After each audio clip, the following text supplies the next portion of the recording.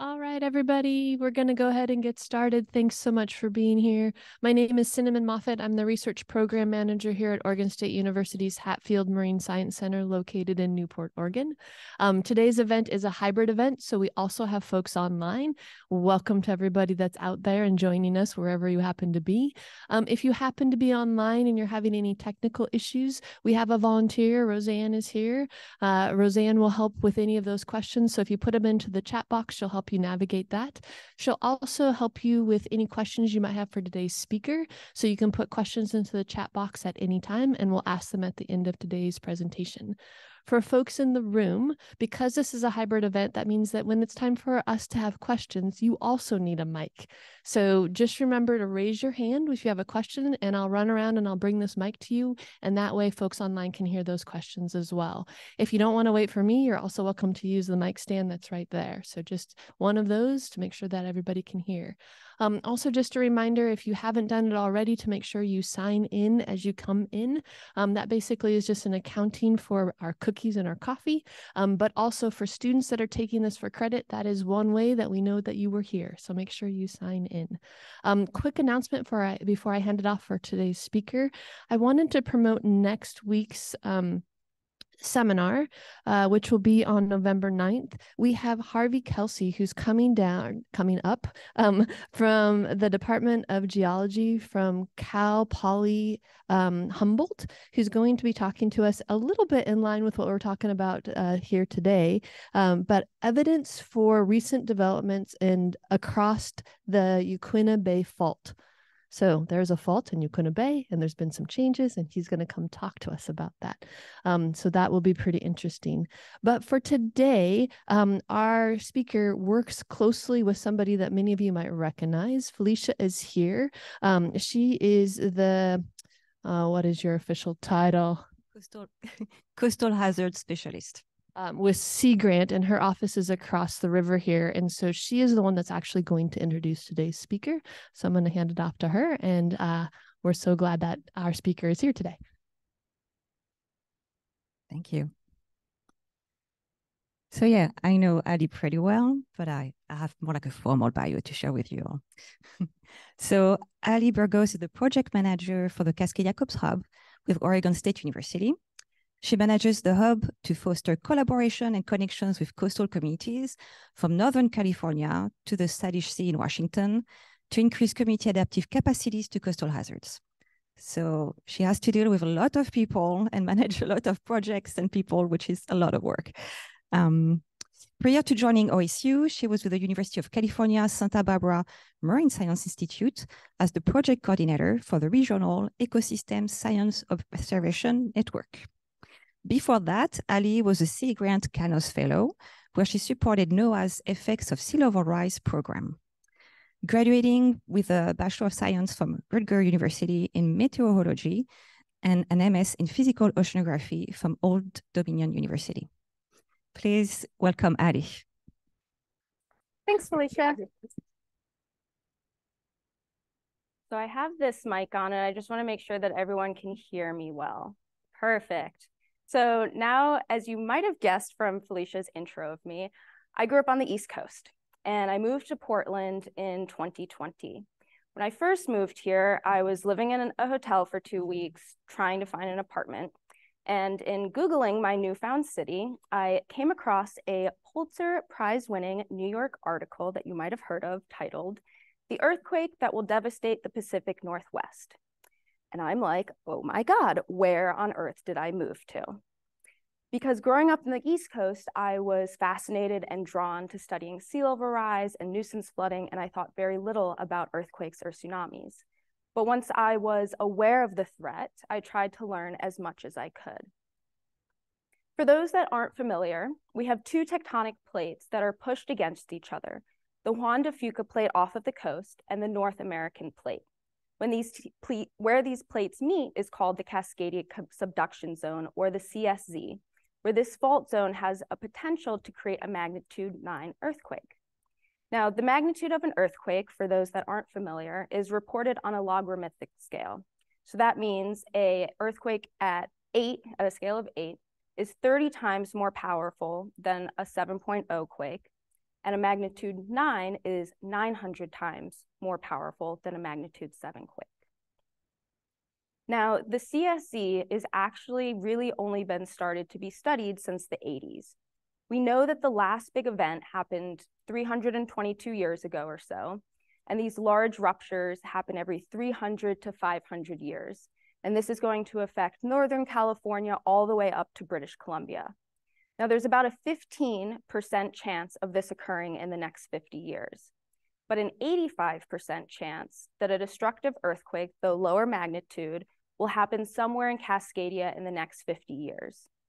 Now, we're prone as people when we hear that statement in the next 50 years that this event could happen at the tail end of that 50 years. But in reality, it could happen next month, or it could happen in 50 years, or even another 100, 200 years. We're not entirely sure of when. But as I mentioned before, the CSZ, a rupture would be huge. So, who has experienced an earthquake before in the United States? Okay, a fair amount of everyone in the audience raised their hand. Um, uh, let's go right here to Cinnamon. How long did that earthquake last?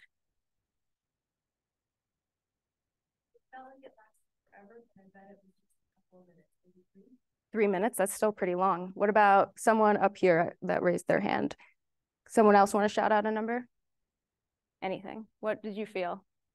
A few seconds. Few seconds? Lights are swaying. What else? Anyone else? 15, 30 seconds? Yeah, so generally what we feel, at least here in the Pacific Northwest, are not too long. But a magnitude nine would produce shaking for about five minutes. So think about that for a second. Everything is shaking for five minutes. No fun for nobody. And that is something that is going to greatly impact our lives, our infrastructure, and the earth itself. And so, with such a large change, even though this is a rare occurrence, it still has the potential to have lasting and deep consequences for us, which is why we want to study it and help to prepare people in the event it does happen. So, while we can't say exactly when it might happen, we can be more prepared for when it does. Unfortunately, earthquakes, tsunamis are not the only thing that we have here in the Pacific Northwest. There are several other hazards, including erosion, landslides, and sea level rise, which is affecting flooding and storm surge. These are just a few videos of different flood events happening in the Pacific Northwest area. So all of these coastal hazards are something that are either chronic, acute, some, some of these things are what we see every single day living here, which is what gives us in parts such a beautiful landscape. And this is what brings me to my project, the Cascadia Coastlines and Peoples Hazard Research Hub, which I'm just gonna call the hub going forward.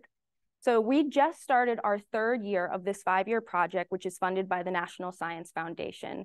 And it's bringing together researchers from all of these different universities and organizations that you can see at the bottom of the screen. And again, I'm with Oregon State University. So our main goal is to help Pacific Northwest coastal communities prepare and adapt to coastal hazards through research and community engagement. And we're striving to contribute to communities' resilience while still upholding their identities, their needs, and values, and we're also informing hazard assessments, mitigation, and adaptation measures that we're collaborating with various stakeholders in the coastal communities. So we're testing two ideas.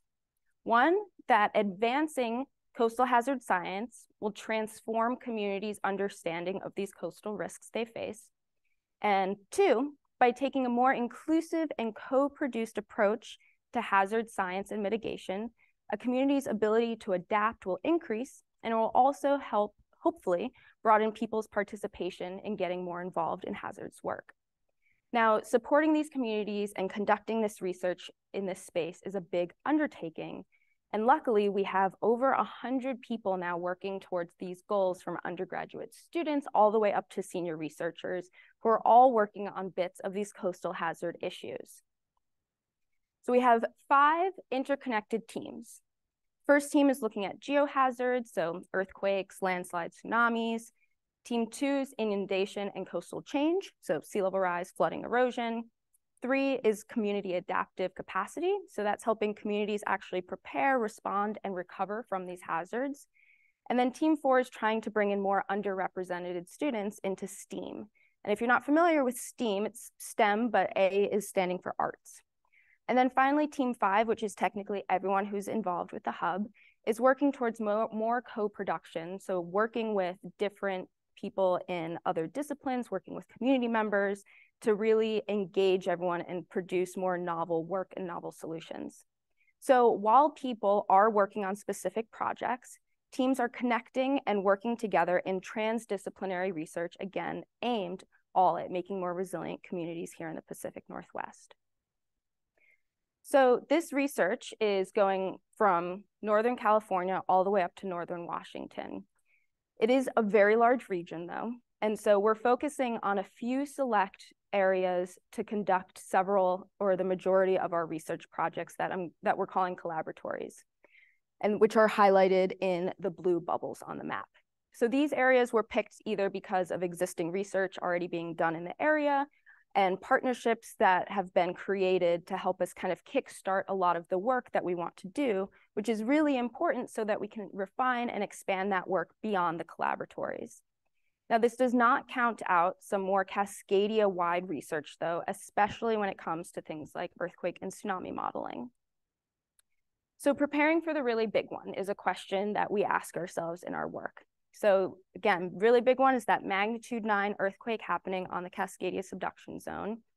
Rare, but high consequence event that could dramatically change the entire coast. And unfortunately, we do know the devastating effects that an earthquake of this magnitude could have because it has happened before. In 2011 in Japan, they had a magnitude 9 quake strike off the coast of Japan, and amazingly, 94% of people living in the tsunami inundation zone lived due to their good planning and public awareness of these hazards. For us in the Pacific Northwest, we're not at the same level of planning and public awareness yet. But the work that the scientists are doing in the hub and well beyond the hub will help us get there. So this brings me to our first team. So for the rest of this time, I'm going to be going through some of the different projects that, and research that the hub is working on to get to this more resilient coast in the Pacific Northwest. So team one is studying geohazards to support multi-hazard planning and mitigation through models and various simulations. So their goals are to uh, first advance their understanding of Cascadia earthquakes, tsunamis, and landslides, um, developing realistic scenarios for what those future hazards might look like. And then the second is to enable comprehensive coastal multi-hazard planning and mitigation through advanced probabilistic simulations. So they're simulating what these planning and mitigation adaptations might look like in various scenarios. So quickly through this, there's several different uh, sub goals for Team One um, such as uh, identifying onshore and offshore faults, updating vertical land motion, and estimating recurrence intervals. And then also in uh, our second goal, trying to find earthquake uh, tsunami simulations, making those better, and having looking at impacts of shaking on infrastructure and tsunami debris forecasting. So all of that kind of translates into some of these sub questions that this team is asking. So things like how much time is actually available for evacuation? And does that time change with different types of ruptures? So depending on where that fault ruptures will change the time that the tsunami might arrive at the shore. And then how well does a building or bridge actually hold up after an earthquake to a tsunami? So these are just an example of some of the questions that our researchers are asking. Now, one of the issues with a major earthquake and tsunami is that certain locations will effectively become an island because roads and bridges will be damaged. And so people and supplies will struggle getting in or out of an area. And so one of our previous PhD students, Dylan Sanderson, asked those questions of how a magnitude 9 quake will impact our local and regional connectivity. So what does that mean? Our local connectivity is how easily would I be able to get to a healthcare facility in my community, for example. And regional co connectivity is how easily could I get to my family's house that lives in town across the river, for example. And so using um, various models, he modeled what this could look like post-earthquake. And here are the results for Newport. So what we see here is the RCI, which is again, how accessible are places outside of your community. And his metric for determining that was how connected to airports you would be post-quake. So if you're looking at the middle map, zero is completely disconnected and one is pre-earthquake travel time. Now, Newport could take up to two years to get to see that pre-earthquake regional connectivity again. The plot on the right shows how long it takes for that RCI to hit 0.75, which basically means how long it could take for a community to become an island, basically. And Newport is about 1.5 years. And again, that is based on your access points to airports. Now, understanding these post-disaster effects is critical to make our communities more resilient today and to have more plans in place for people. So as you know, we deal with chronic hazards as well. So earthquakes, tsunamis, those are acute hazards, and our chronic hazards are our sea level rise or our storm surges that are uh, affected by sea level rise. And so that second team is looking at exposure to flooding and coastal change hazards with a couple of goals. One is to measure that risk of flooding and sea level rise so we can better understand the impacts on communities and the coastlines and habitats themselves and then also looking at how natural and nature-based features like salt marshes can support the resiliency of communities. Marshes and dunes help to reduce wave energy that might be coming in from storms, for example. And so this is one project um, that I get really excited about because we know that flooding and erosion will increase, but a major question is by how much? And so the work that I'm going into is mainly being done by one of our PhD students, Meredith Leung. And so to assess chronic hazards like erosion, we can look at what she calls these hazard proxies. And so these proxies let us use simple threshold calculations to determine whether hazardous conditions are being met or not. And so we look at unsafe beach hours. So when the beach is too narrow to play or to work, and that's when a beach width is less than 10 meters, around 33 feet. And then collision hours is a proxy for erosion. And that's when water levels are higher than the base of the dune, but the water isn't going over it. And then overtopping is our proxy for flooding. So that's when the water levels are now higher than the top of the dune and can flood behind it. So she mapped this for the entire Pacific Northwest. Using a model called Tesla, she created estimates of how these proxies will change in the future. So the first photo on the your left um, shows how these proxies um, or shows the baseline of now. So this is if there's no sea level rise. Oops, sorry. Um, and then comparing from that baseline, we can then see how these hazards might change based on 0.5 meters, 1 meter, and 1.5 meters of sea level rise. Now, under all of the sea level rise scenarios, overtopping, or O, um, the flooding remains rare, mostly due to large dunes in the region and lack of tropical cyclones, which would allow storm surge to really flood behind those dunes much more easily. But we do see unsafe beach hours and collision hours really start to increase. So this is from an average of hazardous conditions, which are now at 20%. And based on that sea level rise scenario, so based on how much we'll actually see in the future, the percent of these different hazards will start to increase, as you could guess, as we have more sea level rise. So stakeholders have expressed a need to identify the areas that aren't currently experiencing hazards, but will in the future. And that is so important because those areas might be underprepared for those increasing coastal hazards because they don't have current experience with dealing with them now. And so this research is starting to identify those potential areas, along with finding hotspots where we could expect a significant higher impacts from hazards in the future.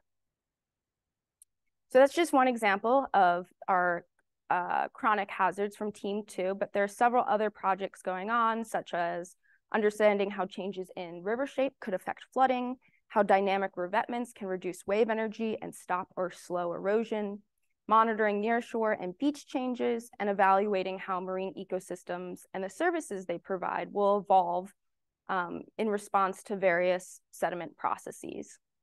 So discussing these chronic hazards with communities and understanding their perceptions and their local knowledge has been a critical aspect of the hub, and we're working with communities to understand their needs even more.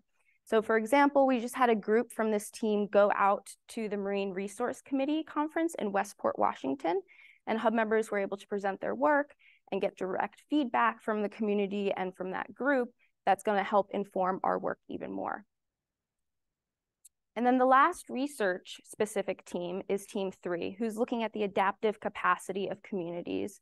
So their overall goal is to increase coastal communities' ability to prepare, respond, and recover from these chronic and acute hazards. And so this is where most of our social scientists kind of fall into. So they have several main goals. Um, including things like integrating different worldviews into disaster risk assessment, making tools for people to evaluate different strategies to help them pick the best adaptation one, building more capacity of local governments to create more equitable adaptation strategies, and finally, determining approaches that will best strengthen communities who will likely be isolated after a disaster event. And so one of the projects I'm excited about is engaging with the Latino community in Clatsop County. There's been a 36% increase in Hispanics in Clatsop County over the past few years, with many employed in low-wage, place-based industries that are primarily located in high tsunami risk areas due to tourism. And so this project is trying to recognize Hispanic residents' cultural values and lived experiences and assess how this affects their engagement with existing preparedness resources. So we are co-producing new hazard materials and trying to find better ways to disseminate this information, which will be shared with Hispanic residents and emergency management offices. Now, our PhD student, Josh Blockstein, was heavily doing this work along with Felicia here. Um, and so they started with reviewing uh, English and Spanish versions of 70 different existing earthquake and tsunami awareness, preparedness, and response resources from federal, state, and local agencies. They then had community focus groups along with surveys to review these resources, the layouts of it, language complexity, cultural relevance. And from that, they found that the Latino community wants and needs their community and neighborhoods to start to get more organized. They also want more resources and trainings in Spanish, um, more information on alerts, evacuation routes, first aid, um, how to put together emergency kits and family emergency plans.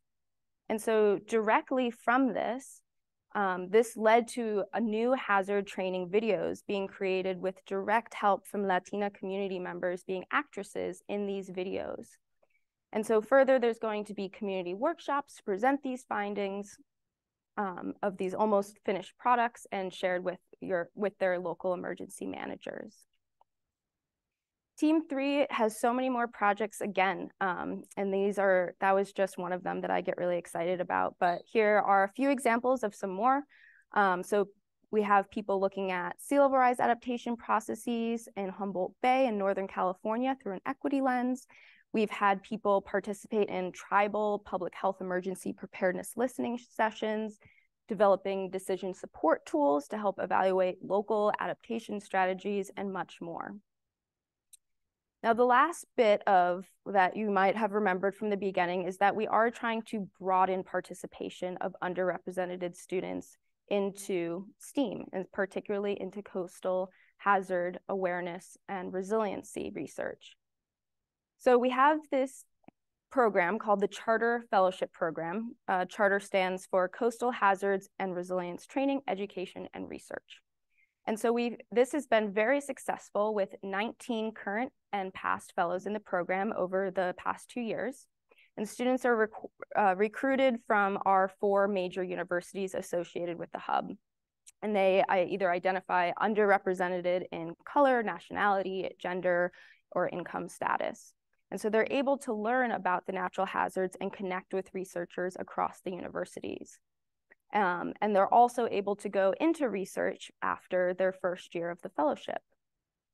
And so each year they have to go through a various class and coursework, but then they also get to have a boot camp. So the fellows get to come down to the coast for two to three days and they get to learn about ongoing disasters, hazard, and resilience research, tour facilities, and meet key stakeholders in the area to help them learn and gain various skills that's going to help them later on in if they choose to do research. And so last year we had our boot camp here in Newport. They got to tour this facility and go uh, up the vertical evacuation structure here. And then uh, this year they went to Westport in Washington. So as a plug, we're actually recruiting our next round of fellows. So applications are due on Friday, November 17th, which you can find all the information on our website, and I'm happy to talk more about that, again, for undergraduate students. So the last thing I want to share is that we have a pathway for people to connect with our hub members if someone needs coastal hazard support. This could be with research, science communication, um, or technical assistance. We actually have postdocs that have 50% of their time committed to supporting the requests that come in, along with the support from our Sea Grant uh, leads and other researchers in the hub. And just to give you an example of what one of these looked like, we had a request come in from Yachats, so just the small town just south of here, um, looking for support to understand landslide risk better in their area. And so one of our postdocs was able to help translate the current science into a more digestible format for their city planners. And so those requests can be either submitted on our website or being directly reached out to a hub member. So this is really only a small sample of all the different work and all the different projects and connections that are going on within the hub. But what I find so cool about this project is that people aren't conducting research in a silo, which can tend to happen in academia. People are really trying to learn how their work can connect to others, either other researchers or community members, city planners, uh, and government. So for example, our coastal erosion folks or tsunami debris modelers are learning from each other or connecting with our social scientists and vice versa. And we're really actively learning from community members of what their needs are where the research needs to be met and put and ensuring that they're the ones that are actually benefiting from this work. So doing all of this, managing over 100 people is not easy. Trying to make those connections isn't easy, but solving complex issues really never is, right? And so the members of the hub are trying to make steps towards making sure that we are a more resilient, have a more resilient future for the Pacific Northwest. Thank you.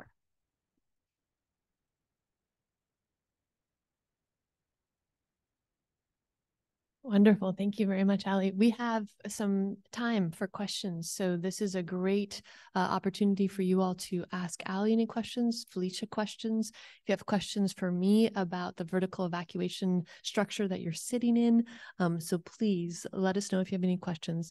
We're going to bounce back and forth between questions online and questions in the room. So if you have questions online, remember put them into the chat. Um, questions in the room, just raise your hand. And it looks like Roseanne is ready with a question online. So Roseanne, Zan, go ahead. I'm guessing that Newport Airport is not factored in here. An emergency management panel discussion a few years ago referenced the Newport Airport being updated as the airport in Japan was to make it quickly usable for emergency services to use. Is this not factored in here because it might not be an airport available for immediate use by the public? So the question is if the air if the Newport Airport was um, put into consideration for that model work? Yes. Um, that I'm so I will make a plug that because as the program manager and I help manage all of the people, I'm not actively involved in the research. However, um, we do have, I can connect you with anyone on the hub to answer those specific questions. So unfortunately, I cannot say if it was or not, but they do have uh, all of this work was already published and is out. And so it's something that I could very easily find for you after this. We also have somebody else in the audience that might be able to help us a little bit. Do you want to introduce yourself and then answer your question? Sure. Thank you, Laura. Hi, my name is Laura Gabel. I'm a geologist with the Oregon Department of Geology, and Dan Cox is a professor with OSU, I believe, who led the yep. connectivity work. And I believe that the Newport Airport wasn't included in that calculation of that like long-term resilience. It's more about like ODOT's priority of which roads they're going to repair regionally and how people on the coast are going to be getting to the more major hospitals and airports. I believe that's how that worked. And um, the Newport Airport is being prepared to be able to receive supplies immediately following the event with like putting gravel down even to make it a usable runway if it's if the asphalt has been disturbed but i don't believe it was used for that kind of long term like 1 to 2 year recover recovery index that they that she showed in that slide Thanks, Laura. All right, questions in the room.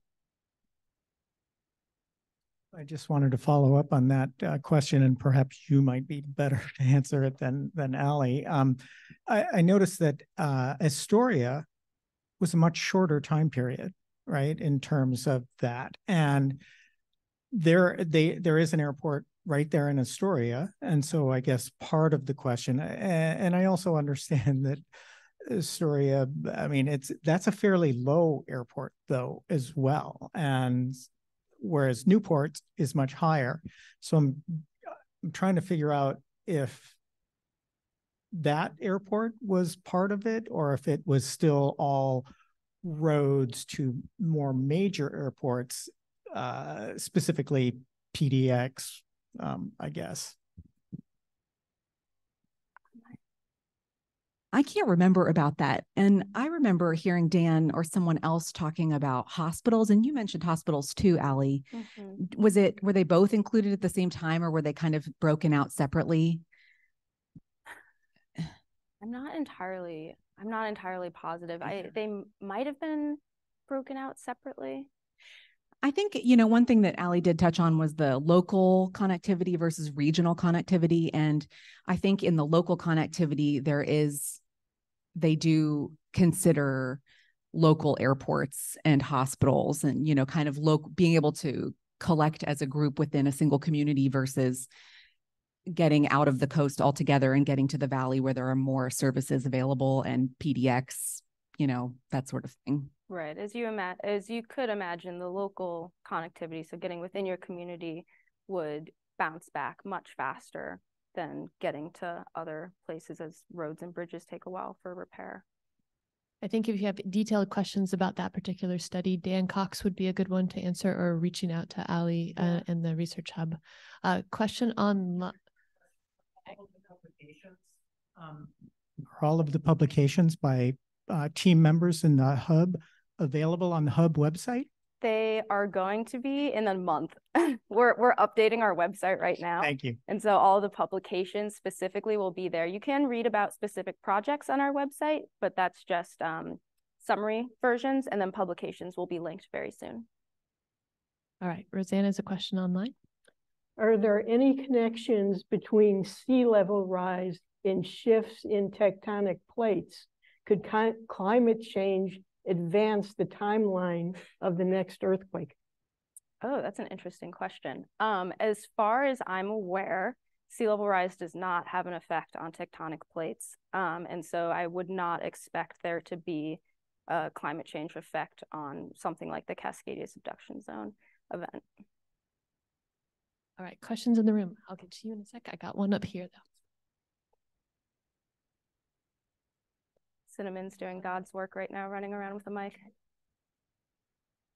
I had one earlier. It was just kind of tied to the earlier conversation because it had Astoria, it had Newport, and then it had Gold Beach. So I was thinking about Astoria had a, a quicker recovery time per se, maybe due to proximity to Portland. But to me, Gold Beach was kind of the, I was curious about that. Like, what is it about uh, that particular area, uh, it had it kind of fell in between. Astoria had the shortest time. Uh, Gold Beach was in the middle, and Newport was the longest of the three. So it was just a curious. I, I just am curious about it. Yeah. So for that, I would again reference just the specific papers of what exactly they're um, looking at. So, I mean, that could really depend on several factors, like again, airports. It could also be the different roads that are either currently updated or not updated, different bridges that are allowing you to get in and out of areas. Um, but I will make sure for all of the people that have asked specific questions on that to give you the publication link uh, exactly. All right. Questions online? What is the main thing we need to do to make us as prepared as Japan was in 2011? That's a great question. Um, so I think that there's a lot of different ways that people could answer this or to go about answering this. So I'm going to answer from my point of view. Um, and so that kind of comes from my heart is really that I feel that a lot of people have lost touch with our ocean and people have lost touch with their connectedness to nature. And again, that's a very personal opinion but I think that a lot of other cultures feel that and they're more inclined to learn about the natural hazards that are there.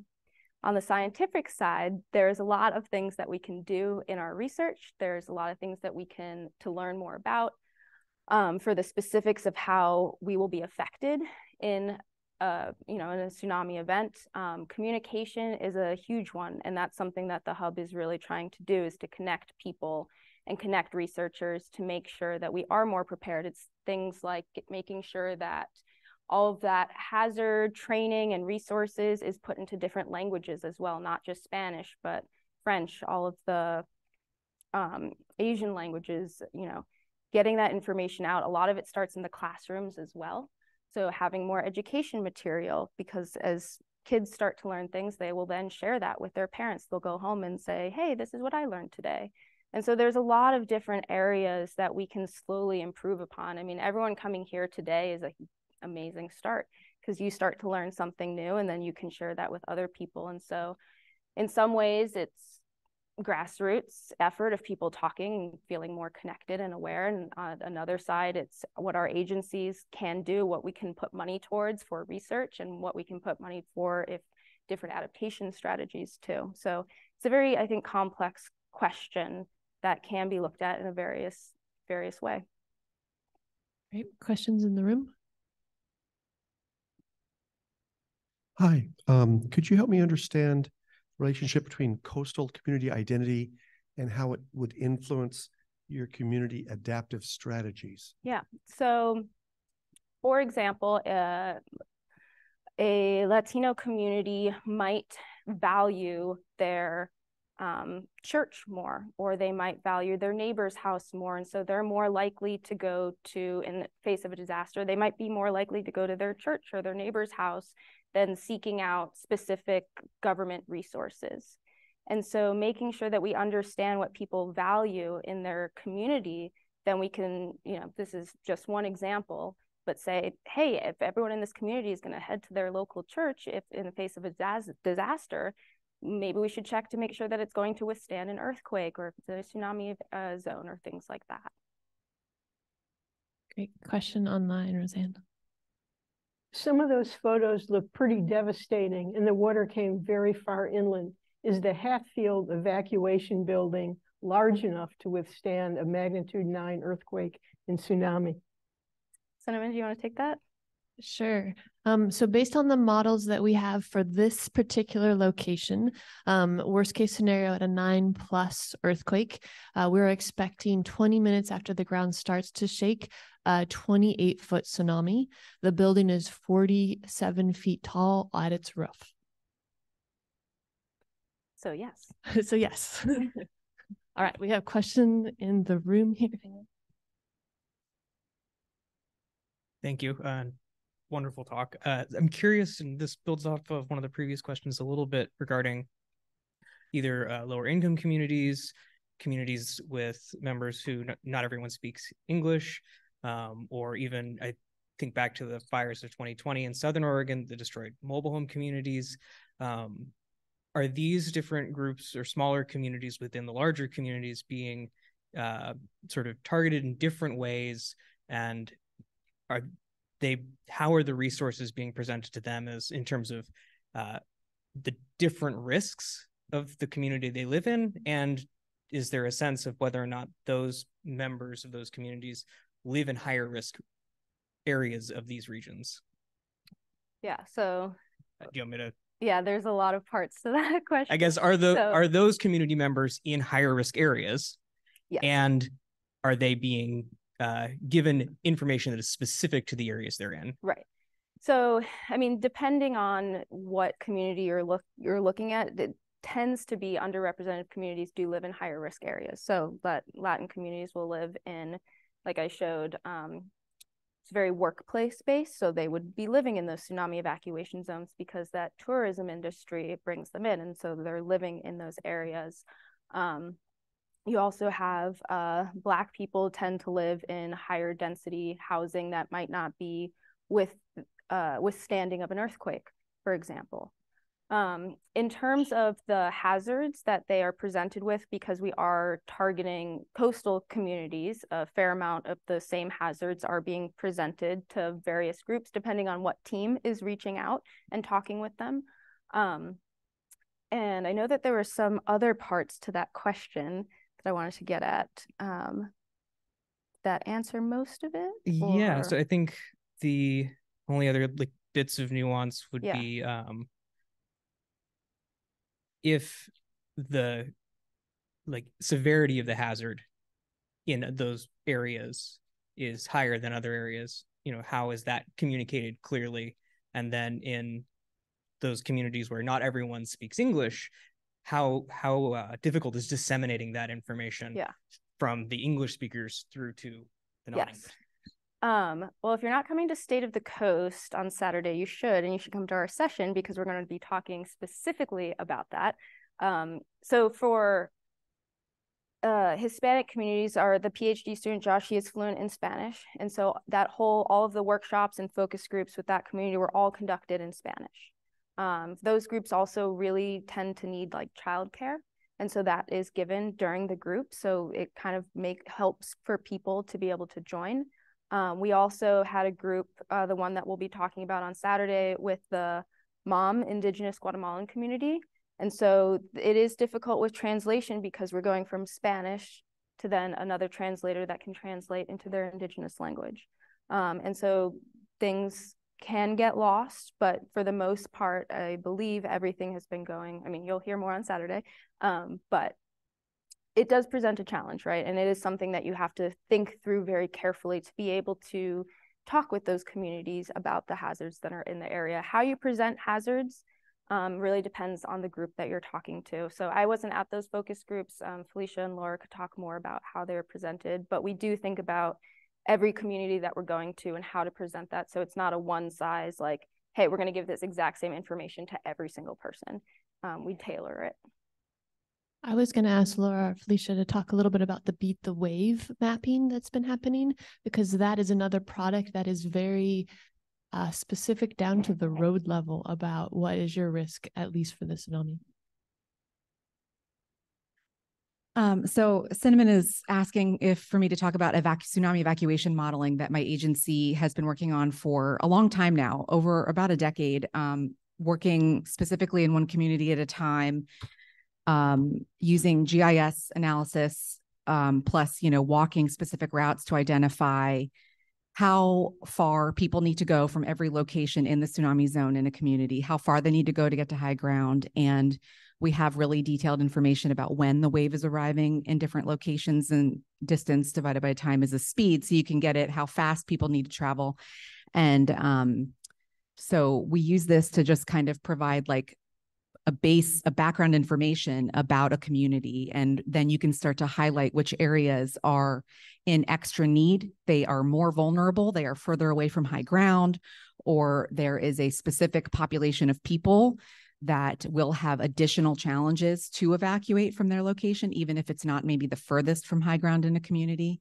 And before this building was built, obviously the Hatfield Peninsula is was quite far from high ground. Safe Haven Hill or the community college were the only options. And um, I did my work like right as the building was being built. Um, but uh, just helping to use that information to inform where you're putting signs on the ground and how you're targeting your outreach to different communities of people. Is that clear? And so we've been putting that information online. We've tried to figure out because we're learning that people's map reading skills and interest in getting maps. That's where I was going, Felicia. Thank you.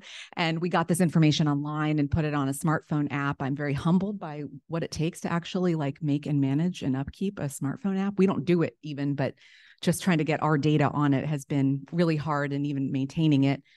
Um, but yes, you can go to, um, well, you could go to OregonTsunami.org now it's oregon.gov slash Dogami, D O G A M I. From there, you can get to all of the tsunami maps that Dogami makes. But one thing, um, one of the questions online was about how we could be more prepared like Japan.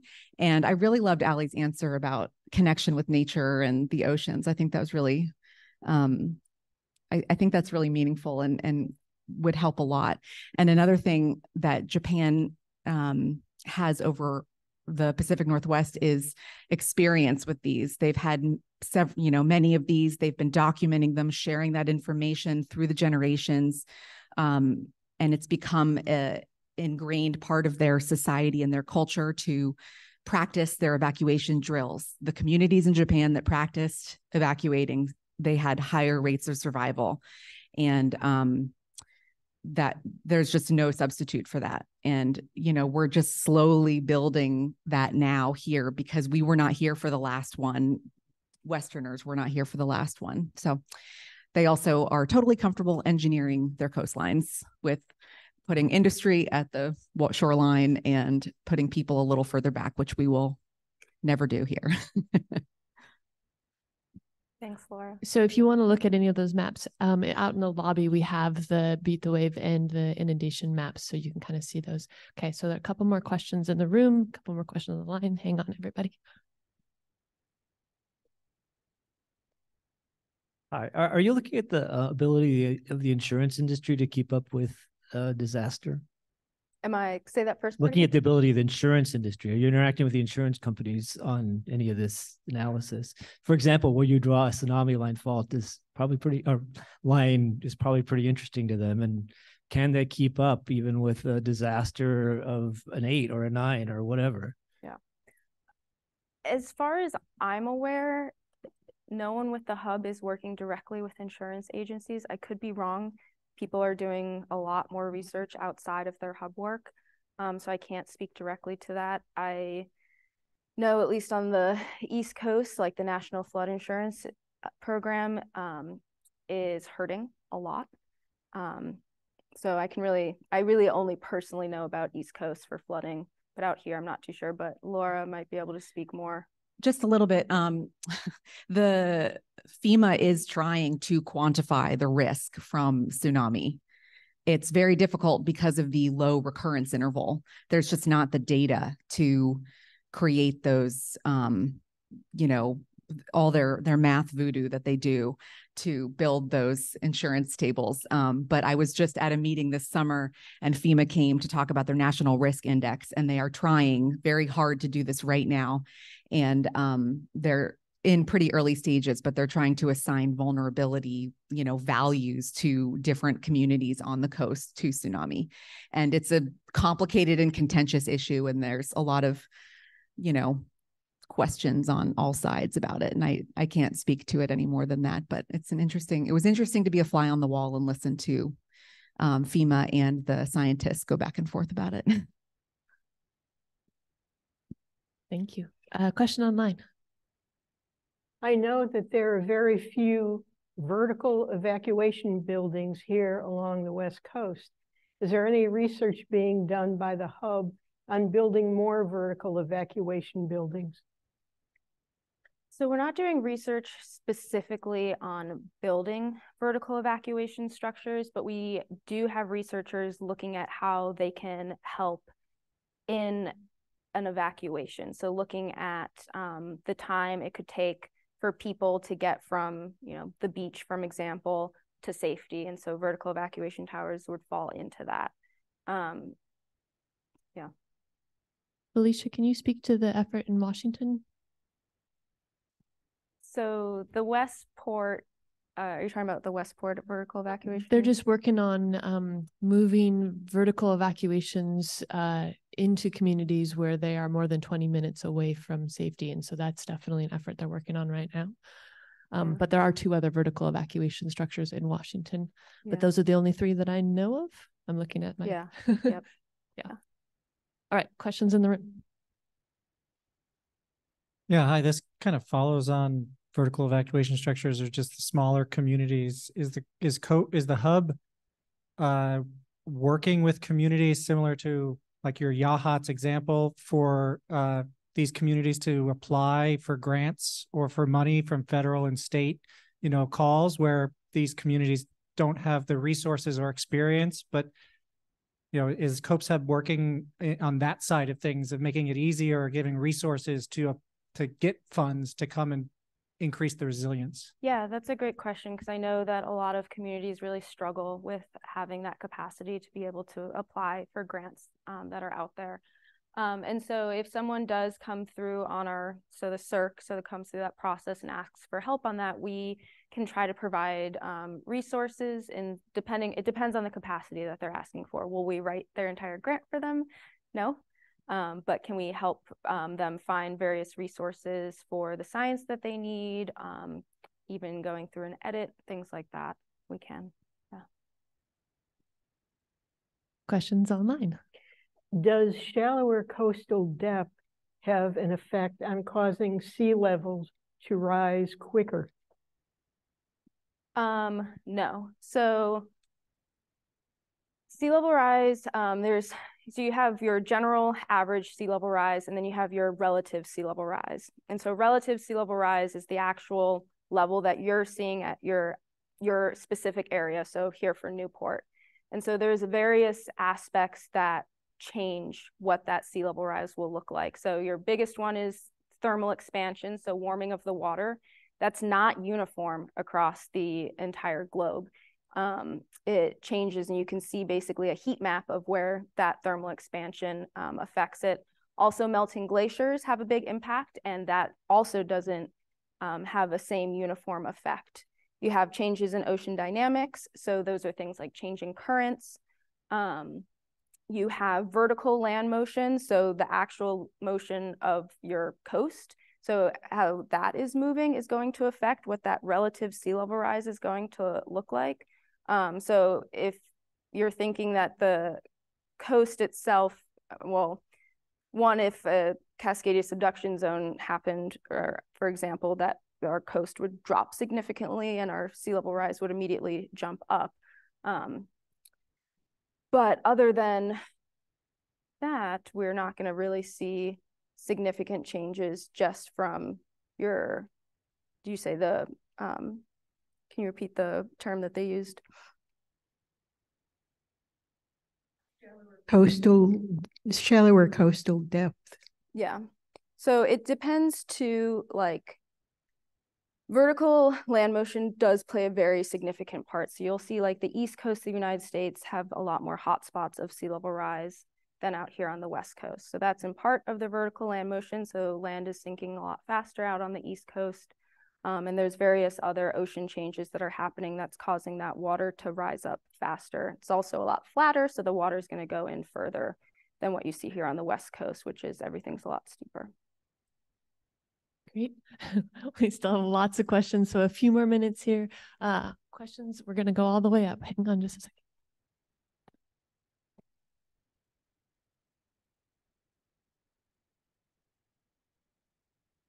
This is kind of recycled from the connectivity talk some time ago, but uh, do you know if anybody in the hub is working on the idea that all of these communities are ports and have access to the sea? So how uh, that going to affect uh, recovery? If we can evacuate by sea, we don't need an airport. Are the jetties going to disintegrate in a in the big one, so they won't have access to the ports anymore? How who's working on that? Yeah, so we do have people that are looking at specifically tsunami debris modeling. So where will all of the debris go post tsunami? Um, and where is that going to pile up? So in part that helps with cleanup. Um, in terms of actual sea evacuation, I don't know of any hub member that is working on that directly, but we are looking at how the debris might uh, what's the word um, spread out in a community. So that could be then you know clogging up ports. Ports most likely would be destroyed. Um, some of them would survive. And so yeah it, i know there's other people working on that but no hub members specifically are and laura might be able to speak more on maybe Dogami. Yeah, well, not Dogami, but Or- Felicia and I were just whispering about. So Tiffany Brown and uh, is the emergency manager for Clatsop County, and Jenny Demaris, the former Clats emergency manager for Lincoln County. They did a project where they reached out to the Navy to talk about um, assistance post event via the ocean, and um, it was complicated. The Navy was used to coming to help, um, like warm weather calm water places like Puerto Rico or, you know, after the Sumatra event in Indonesia, that sort of thing. Um, but they were working on identifying landing sites with their vehicles to come help. There will there's no evacuation by sea that will be possible. There's just not time. Um, but the earthquake and the tsunami will uh, probably totally destroy the jetties and also the channels coming into the bays. There will be bank failures in the main channel and um, it's going to take a lot of time to recover the ability to travel in and out of our main marine ports. And I think the Corps is working on that as well. All right, looks like we have finished our questions online. Any other lingering questions in the room? All right, I got one more up there. Hang on one second. Just a quick question. We're visiting from inland Idaho. I'd never heard of a vertical evacuation tower. And I'm curious how many people fit on the roof. Um, FEMA has authorized our vertical evacuation structure that you're sitting in right now for 920 people. And we have supplies up there to take care of them for up to two days. And that's because we want the tsunamis uh, to stop sloshing and so they can safely come on down. So it's really dependent about the square footage um, that you have up there for how many people you can support. All right. I'm seeing some more questions, but I think what I'm going to do is um, for folks that are in the room, um, come up and talk to our presenters. And I'm going to say presenters because we put Laura on the spot quite a bit today. Thank you, Laura. Um, and for folks online, thank you so much for being here. For everybody in the room, if this was something you enjoyed, we do these seminars every single Thursday, same place, same time. Um, and I think next week's talk is also going to be a really interesting one for us. So I hope to see you again. Let's give our presenters one more round of applause. And thank you, Laura, for being able to give more specific answers to people's questions. Um, feel free to reach out if you have more as well online.